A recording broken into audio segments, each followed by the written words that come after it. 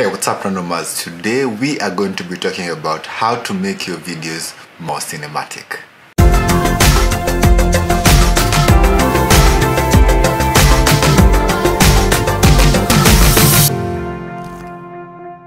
a year or two ago i did a video on how to make your videos more cinematic and this is just more of an update video to help you get better in making your videos cinematic so you're going to be having similar tips others are going to be improvements others are going to be corrections. And as always if you'd like to learn more about photography and video related stuff make sure to hit that subscribe button give me a like and share this video. So let's get into it. Last time when i talked about this i actually encouraged you to do it. But this time I'm going to be actually discouraging you to do it. And this is Cinebars. Using Cinebars in your videos to create a more cinematic effect. First, do not use them if you do not have to use them and ask yourself what purpose are they serving in your videos and if you have no reason, you can experiment with them but if you feel like they add no value, do not use them. Secondly, do not download a PNG and overlay it on your video because this adds a layer on top of your video which might actually change how your videos look in other screens and in different resolutions. Last time I actually told you to take a PNG that has black bars and get to use it on your videos. This time I'm telling you do not do that. So that is one of the corrections that I'm making this time. And do not crop your video at the top and bottom to create cinebars because if someone is watching your video in an ultra wide monitor and you've cropped uh, or added a PNG with black bars, then it will just be a 16 by 9 video on a 21 by 9 monitor, which will display on your video in a small box rather than filling the entire screen, which is a 21 by 9 monitor. And actually on YouTube, it gets to detect the 21 by 9 aspect ratio and post it like so. You will see the black bars automatically appear on your video without you having to put them. I will do a more in-depth video on aspect ratio later, but for now just create the 21 by 9 aspect ratio if you're working with a 1080p footage. This is what you get to do. Create a new sequence and in the sequence settings set the horizontal value to 800 and just like that you have your black bars that get to appear or rather the aspect ratio that gets to fit with the video that you're doing. Again my disclaimer is if it's adding no value to your video do not use it. If it is great go ahead and use it but I will do a more in-depth video on aspect ratios later. The second one is a shallow depth field. Some people call it bokeh, bokeh, whatever you want to call it, or just a blurry background in your video to be able to create focus. When you're using a shallow depth of field, what you want to do is be able to bring out a certain element in your video. So you want people to focus on it. So do not just use it for the sake of using it, use it to be able to forward the agenda of your story. So whenever you want people to focus on this or shift focus from one thing to another, it is best to use a shallow depth of field.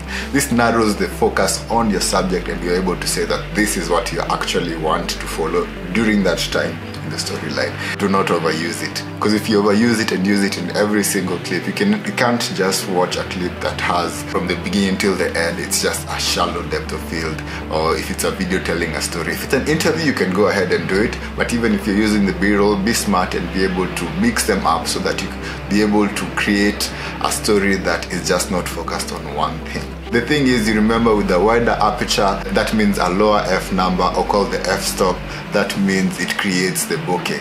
So for example, uh, f4 is wider than f22. What I usually do, as I said, in the f, uh, it's f over 4. You just put it to be like the f to be 1. That's a quarter is larger than, uh, or rather it's wider than 1 over 22. So that's the thing, because people might ask, how is 4 larger than 22? Because usually when you see the numbers on the camera, it will show you f22, f4, f2.8. So just add uh, a 1 over something 1 over 2.8, 1 over 22 to be able to know which one is larger and which one, which one is wider rather and which one is uh, narrow. Also the distance matters when you get closer to your subject, the more blurry the subject becomes. So the farther you are, the less blurry it becomes or rather less blurry the background becomes. That's what I'm talking about. So the closer you are to the subject, the more blurry the background becomes. The farther you are to the subject, the less blurry the background becomes. So be able to experiment with that and tell me what you think about that. The next thing we're going to be talking about is handheld shots. One of the things we all dream about uh, to have and maybe some of us have them and use them from day to day. Some of us don't have them like me. Those are gimbals and yes they are awesome. And to use and to create awesome cinematic things they make a lot of sense. But the thing is some of us can can't be able to afford this. So what do you do you need to be able to rely on your hands. I usually tell people when you're starting off, you need to be able to know how to film without a lot of gadgets so that when they come on, it becomes more of a privilege. When you learn, learn how to use these gadgets, they just add on to the value of whatever you already have. So you can't get a car without knowing how to drive first. So you need to be able to get a license, then get a car. You can actually get it, but you won't really know how to utilize them to the best uh, of its value. So you need to learn how to work with whatever you have at the moment. Then later, when you upgrade, you're actually at a higher advantage as compared to somebody who is just learning from those things from the beginning. So I've learned to rely first on my hands with the help of the rest of my body to deliver shots that are pleasing and cinematic. You can never replicate a gimbal, but you can deliver the best handheld shot by learning how to move your hands and body while you're holding a camera in a way that gets to deliver the story in a more cinematic way.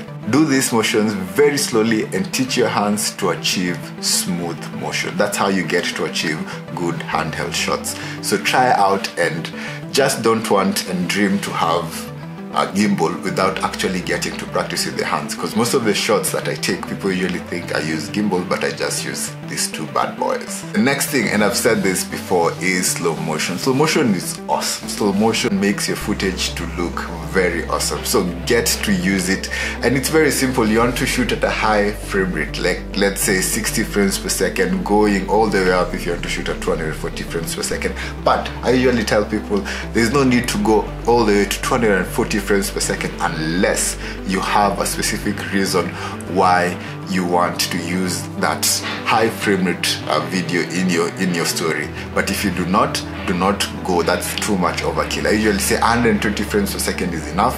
Going all the way up you must have a specific artistic uh, view that you want to use in your video. So 60 to 120 uh, frames per second is enough again i say do not you overuse it. You do not want to watch a video from the beginning to the end which is in slow motion unless there's a specific reason why you're doing that for the story.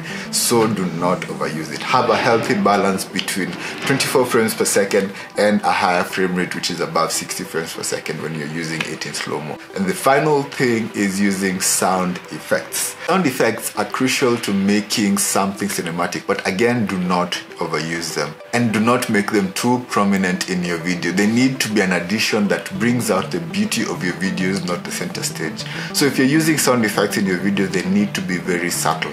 Do not make them like if it's a whoosh, a clap or something that you're using in your video to be able to show a certain motion or certain transition.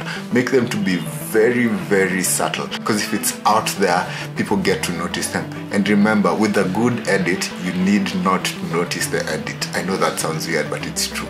If your edit is awesome and people just feel like it flows like this clip flows to this clip flows to this clip then that's a good edit. But if you notice that the transition is boom bam boom and then the soundtracks are boom bam boom then that isn't really a good edit. So try and make them to be as subtle as possible.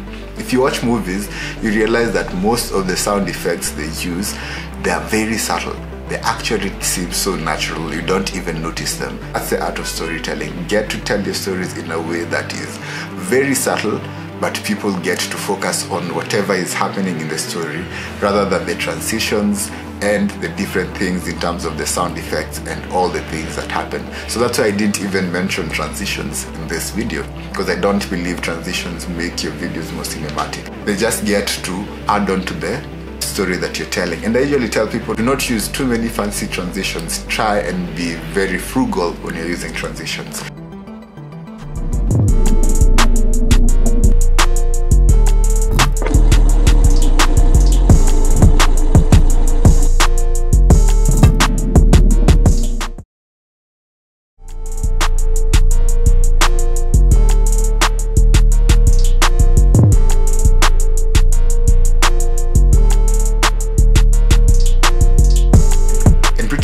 That's how you get to make your videos more cinematic. Get to try them out and tell me what you think about them in the comments down below on my instagram on my twitter on my facebook everywhere that i am. And as always if you'd like to learn more about photography and video related stuff make sure to hit that subscribe button. Give me a like and share this video. See you later Randomers.